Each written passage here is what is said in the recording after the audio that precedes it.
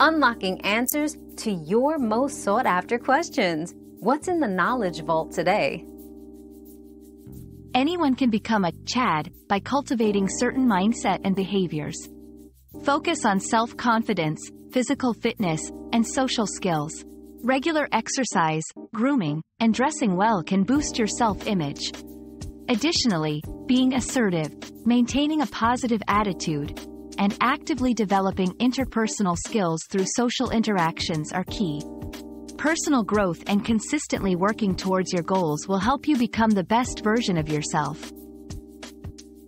Your daily dose of discovery ends here, but the journey of learning never stops. Subscribe and join us again for more answers tomorrow.